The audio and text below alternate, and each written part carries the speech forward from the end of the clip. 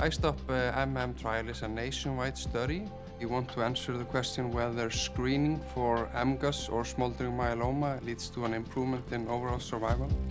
We are going to answer that by inviting all Icelanders 40 years and older to participate.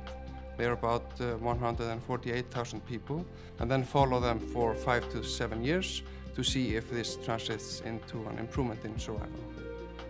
Those that are diagnosed with MGUS or smoldering will enter a randomized clinical trial with three different arms with different approaches with regards to workup and follow-up strategy. The significance to this is that as we've been treating myeloma over the past 20, 30 years, we've realized that the best outcomes are when you start early.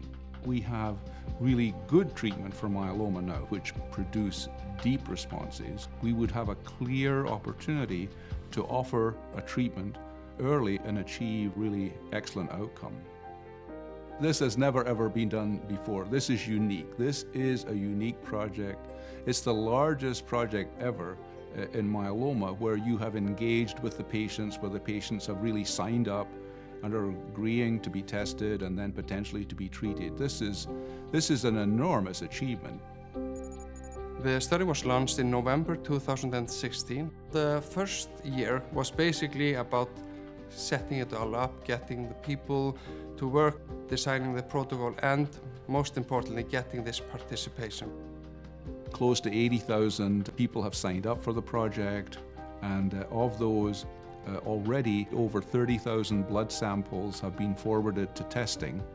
To date, we have received over 30,000 samples, and at points that's been, we've been receiving up to 300 samples a day to be run with the free light assay and serum electrophoresis. Those results are coming back to the Iceland clinics. The teams are now going out to meet with the patients, discuss with the patients, and do the testing, including bone marrow testing and special x-rays to evaluate and start to monitor these patients. We are seeing like 40 patients every week with newly diagnosed MGUS and myeloma, and this will continue during the second and third year.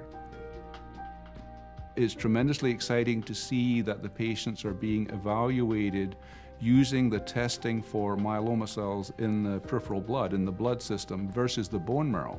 And so I think that this will be an important uh, step for the future where if the results are as good as we think, it will become feasible after you have the baseline information to make decisions based upon the levels and changes that occur with the myeloma cells in the blood. What we see now already with the preliminary data is that the risk categorization, according to the Mayo model, we see that we have more low-risk MGUS than has been described before and less high-risk MGUS. And also we see that smoldering myeloma seems to be a little bit more common than we thought uh, based on the first patients that we have uh, analyzed.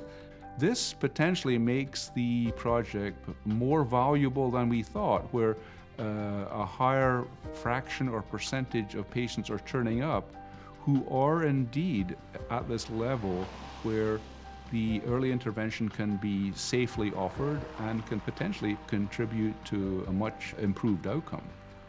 Beside this uh, sense of community and engagement of the people here in Iceland, we have this deCODE facility, a genetics facility that's been in operation now for over 20 years. They have this huge biobank of DNA from the people of Iceland. If someone has a myeloma protein, we immediately know which type of patients, which type of DNA is correlated with the development of a monoclonal spike, with early disease, with smoldering disease, with active myeloma.